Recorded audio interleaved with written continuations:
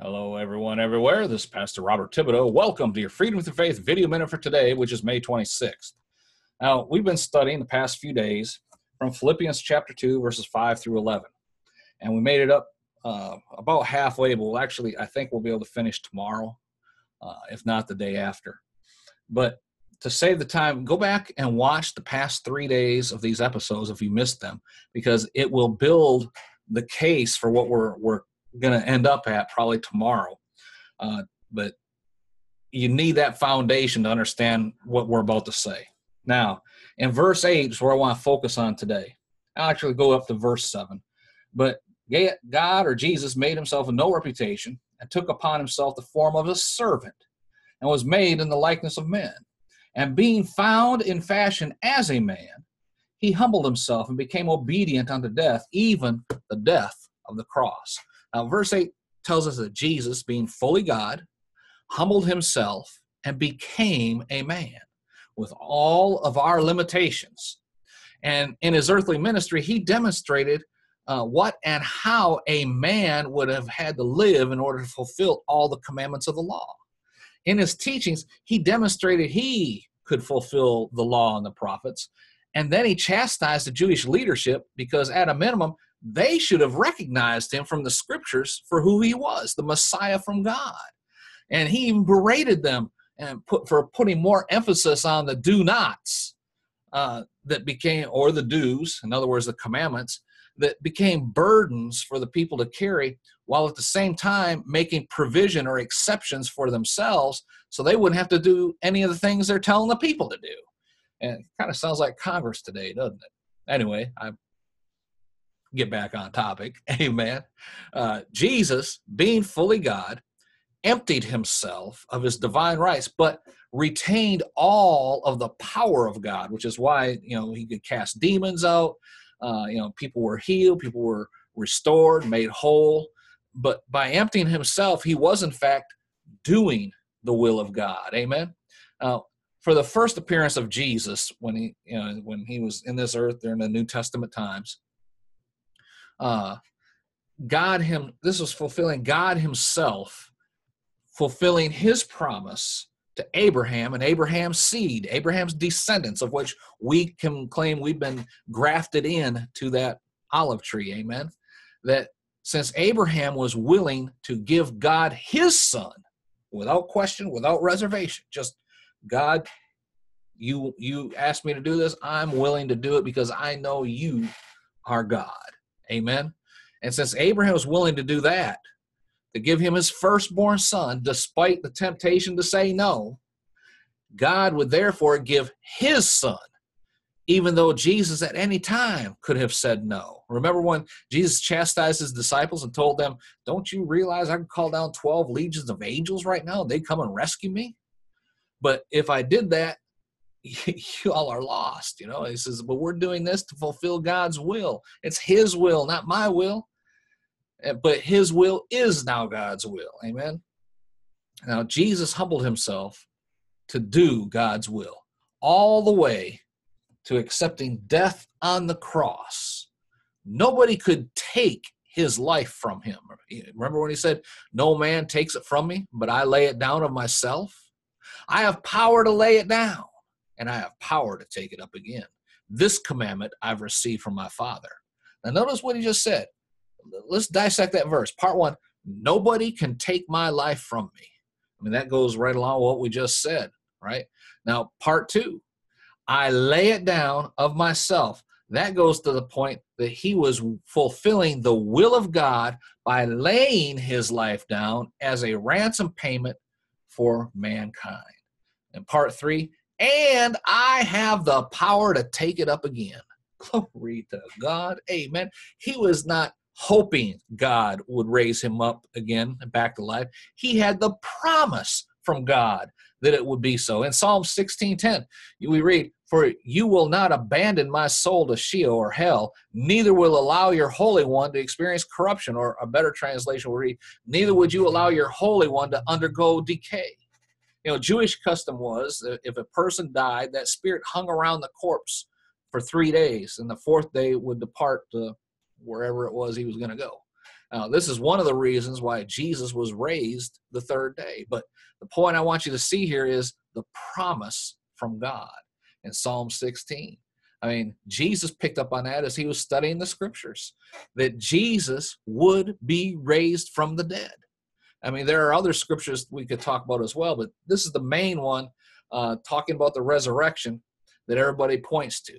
Jesus would have known about this promise as a rabbi who was trained in the scriptures.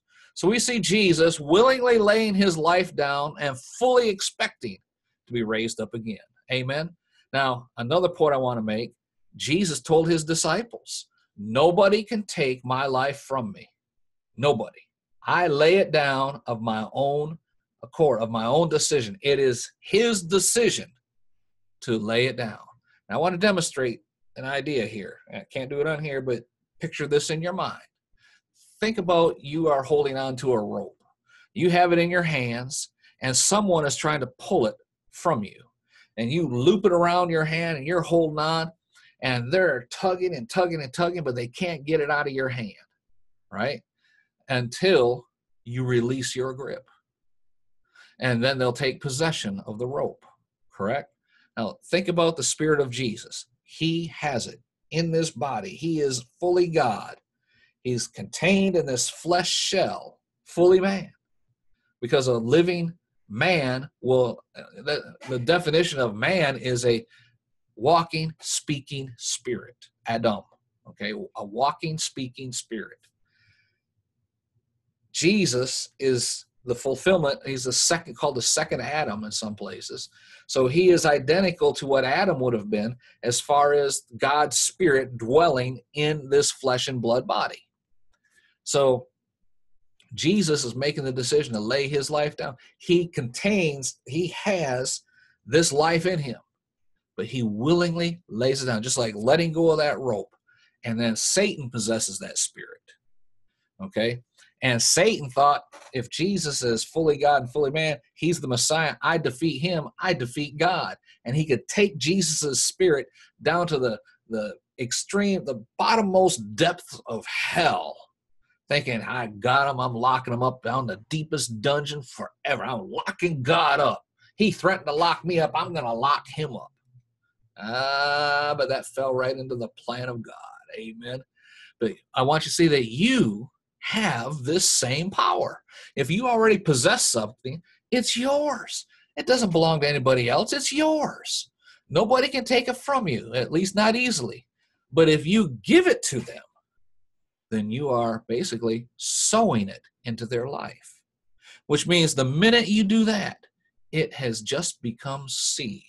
And the Bible tells us, and we're not going to these scriptures today, that you can expect a return on the seed you sow. And I'm not talking about finances specifically, but the point I'm trying to make is nobody can take something from you if you already possess it. Amen? Until you make the decision to let it go and turn it into seed. That's what Jesus did on the cross. Remember when he said, you know, he told the Father, he says, Father, into your hands now I commend my spirit and he gave up the he hung his head and gave up the ghost. He gave up his spirit, and Satan snatched it and took it to hell.